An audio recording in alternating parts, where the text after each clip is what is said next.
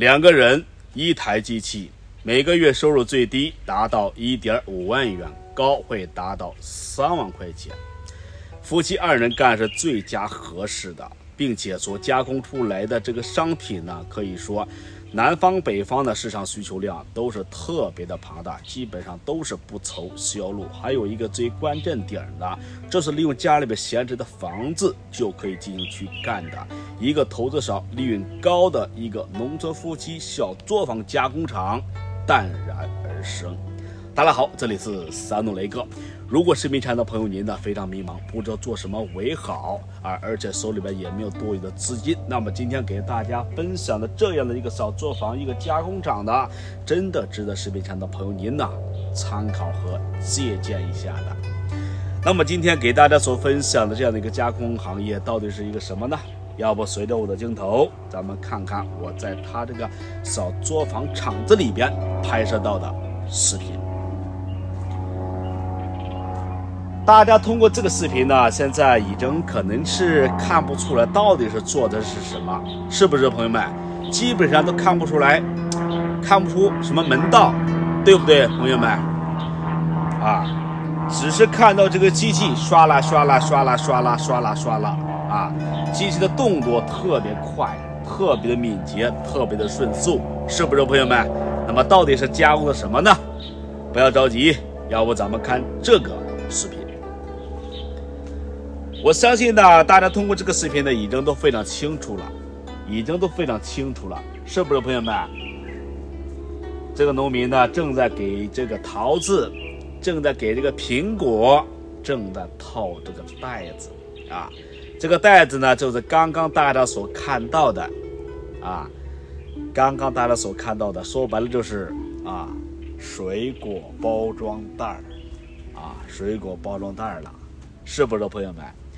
相信大家呢，如果对这个水果了解的朋友哈，都非常清楚啊。像种植出来的梨子、桃子、苹果啊，尤其是梨子啊，种出来的这个梨子呢，必须把它给用这个水果袋给套住，不然的情况下，容易会遭到这个虫子的侵害呀，或者是遭到鸟类的一些侵害，是不是朋友们？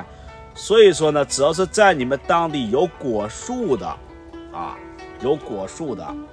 可以说这个袋子生产的情况下，在你们当地市场需求量也是特别的庞大，基本上也是不愁销路的，是不是朋友们？我今天所拍摄到的这个农民呢，可以说夫妻两口子干这样的一个加工厂呢，今年已经是第六年了啊，已经是第六年了。在我在他这里拍这视频的时候呢，夫妻两口子也说到了，像这个生意呢，两个人都可以进去干啊。但是有一点不好，就是说两个人基本上每天只要是干活啊，基本上都闲不下来啊，基本上都闲不下来。但是呢，他们也是保证一定的这个工作时间，每天呢，他们基本上都工作八到十个小时，超过十个小时呢，基本上就不干了，是不是，朋友们？这样的一个生意呢，我相信呢也是非常不错的啊。此外呢，大家通过视频呢，咱们都会看得出生产的这个速度啊，都是特别的快，都特别快啊。呃，还有一个最关键点的，很多农民肯定会问的，哎呦，他们是卖给谁呀？呃，说实话哈，刚刚也和大家说过，只要是有水果的地方，就会有它的市场啊，这是一块。还有一块呢，他们目前。在互联网的一些平台，他们也是在进行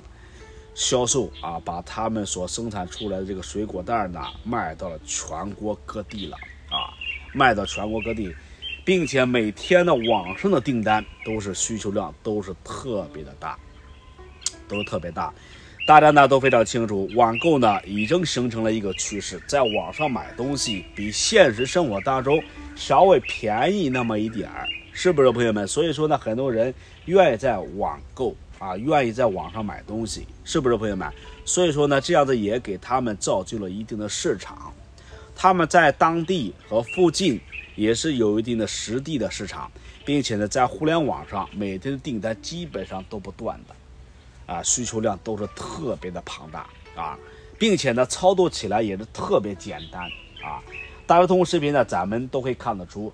这所有的动作都是机器完成的，只是人工呢，夫妻两口子就在那里稍微简单的打一下包啊，数一下数量就可以了，是不是朋友们？就这么回事，操作呢都特别的简单啊。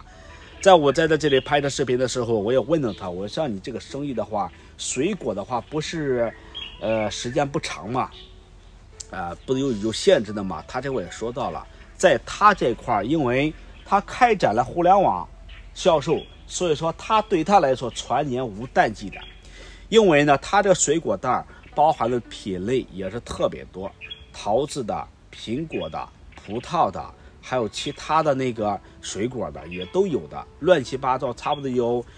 七八个品种水果的品种袋子啊。有的那个水果呢，冬天也需要套的啊，像一些葡萄啊，大棚里边的一些蔬菜呀，大棚里边的其他的这个水果呀，也是需要套袋子的，是不是朋友们？只是说呢，没有在夏季的时候，在夏季的时候需求量大，是不是朋友们？尤其是种梨子的，种梨子需求量是更大的。是吧，朋友们？